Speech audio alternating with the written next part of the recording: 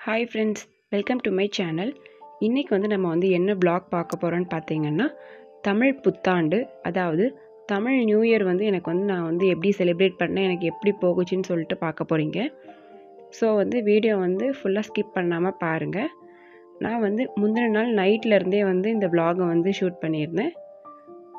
வாங்க இப்போ வந்து நம்ம வீடியோக்குள்ளே போகலாம்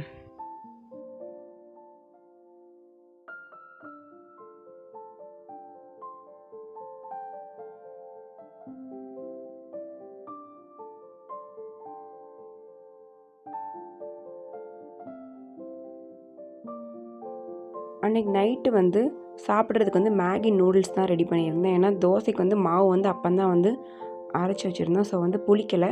அதனால் வந்து மேகி நூடுல்ஸ் வந்து ரெடி பண்ணியிருந்தேன்.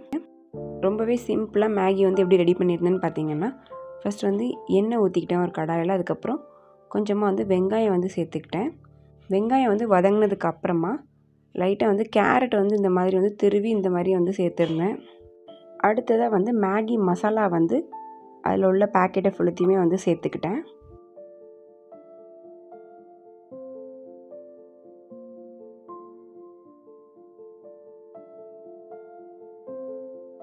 அடுத்து இதெல்லாம் வதங்கினதுக்கப்புறமா தேவையான அளவு தண்ணி சேர்த்துக்கிட்டு தண்ணி வந்து நல்லா கொதித்ததுக்கப்புறமா மேகி எல்லாத்தையுமே போட்டுக்கிட்டேன்.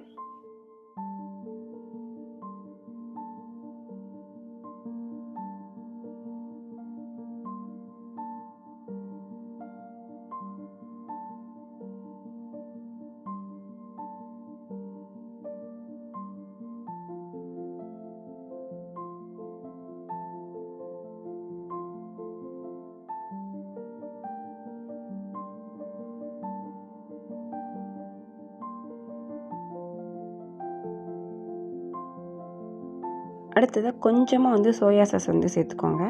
இது வந்து ஆப்ஷனல் தான். இது வந்து சேர்த்துக்கணும்லாம் இல்லை. கொஞ்சம் கலருக்காக அப்படி அப்படி வந்து சேர்த்துக்கலாம் அவ்வளோதான் இப்போ வந்து மேகி நூடுல்ஸ் வந்து ரெடி ஆயிடுச்சு.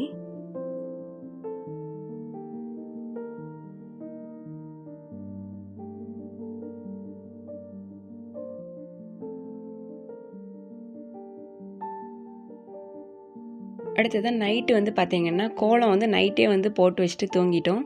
சரி okay next day new year அதனால் நைட்டே போட்டுடலாம் அப்படின்னு சொல்லிட்டு ஒரு பிளானில் போட்டு வச்சிட்டேன்.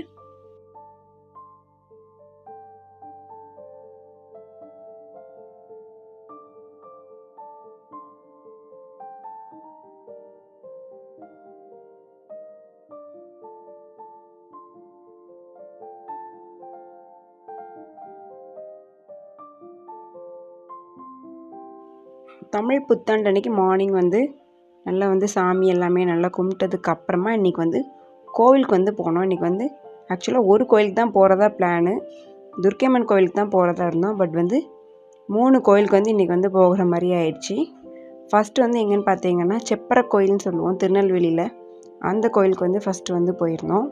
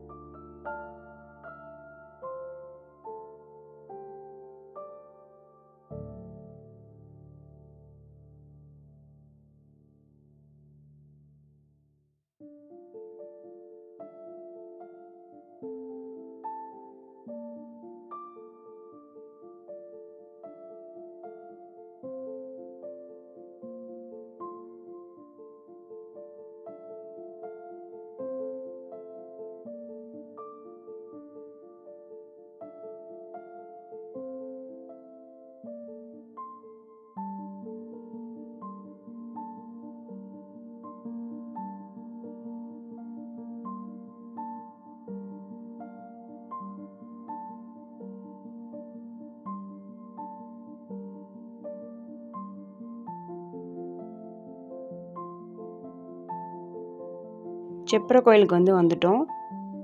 செப்பர கோயிலில் வந்து அன்றைக்கி வந்து அன்னதானம் எல்லாமே போட்டிருந்தாங்க. அது எல்லாமே முடிச்சுட்டு நெக்ஸ்ட் வந்து பார்த்திங்கன்னா பூலுடையர் சாஸ்தான்னு சொல்லிட்டு எங்கள் சித்தியோட சாஸ்தா கோயில் அங்கே வந்து போயிருந்தோம்.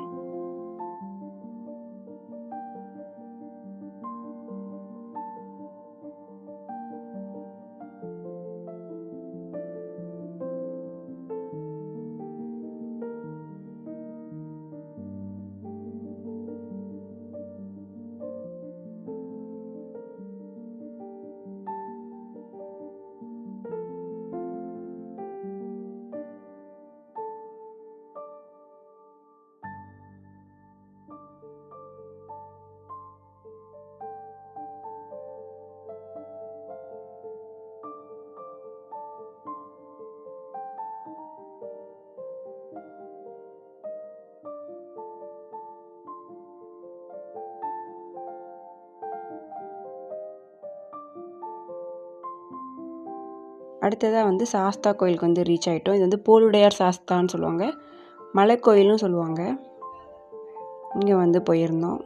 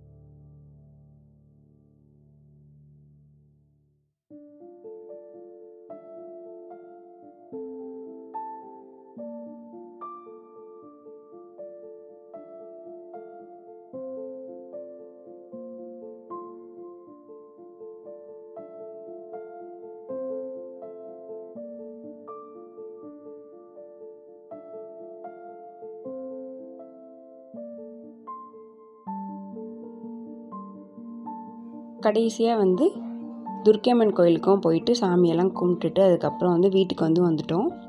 அடுத்து கோவிலுக்கெலாம் போயிட்டு வீட்டுக்கு வர்றதுக்கே வந்து மணி பார்த்திங்கன்னா மூணு மணிக்கு மேலே ஆயிடுச்சு அதுக்கப்புறம் தான் வந்து லஞ்செலாம் சாப்பிட்டோம். சாப்பிட்டுட்டு கொஞ்ச நேரத்துலேயே வந்து டீ போட்டு குடிச்சாச்சு.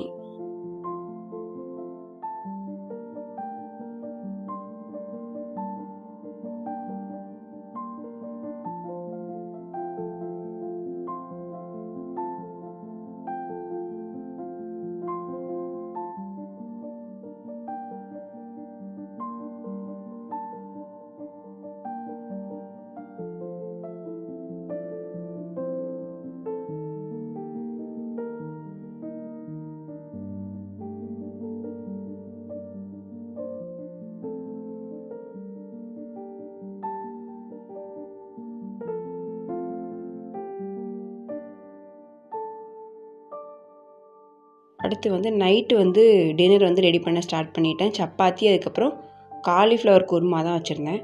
காலிஃப்ளவர் குருமா வைக்கிறதுக்கு வந்து ஃபஸ்ட்டு வந்து காலிஃப்ளவரில் வந்து தண்ணி ஊற்றி அதுக்கப்புறம் உப்பு மஞ்சப்பொடி போட்டு கொஞ்சம் வேக வச்சுக்கலாம்.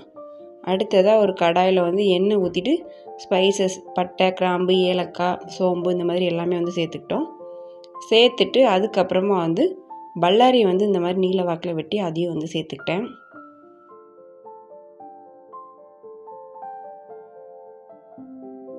பல்லாரி வந்து பார்த்திங்கன்னா நல்லா வந்து வதங்கட்டும். இது வந்து ப்ரௌனிஷாக அப்படிலாம் ஆக வேண்டாம். லைட்டாக வந்து டிரான்ஸ்பரண்ட்டாக ஆனது ஆன உடனே நம்ம வந்து தக்காளி வந்து சேர்த்துக்கலாம். அடுத்தது அது கூடவே வந்து மிளகாயும் வந்து சேர்த்துக்கலாம். அடுத்ததாக இது கூட வந்து உருளைக்கிழங்கு வந்து சேர்த்துக்கலாம். உருளைக்கிழங்கும் லைட்டாக வந்து வதங்கினதுக்கு அப்புறமா நம்ம வந்து வேக வச்சு எடுத்துக்கிற காலிஃப்ளவரை வந்து சேர்த்துக்கலாம்.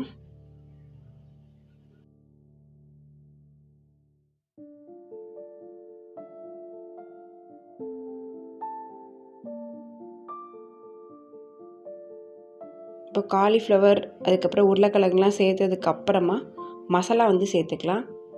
ஃபஸ்ட்டு வந்து என்னென்னா மஞ்சள் தூள் வந்து ஒரு கால் டீஸ்பூன் வந்து சேர்த்துக்கிட்டோம். அடுத்து வந்து கரம் மசாலா வந்து ஒரு ஒன்றரை டேபிள் ஸ்பூன் வந்து சேர்த்துக்கிட்டோம். அடுத்து வந்து தனியாத்தூள் வந்து ஒரு ரெண்டு டேபிள் ஸ்பூன். அடுத்து கொஞ்சமாக வந்து மிளகாய்த்தூள் வந்து சேர்த்துக்கலாம்.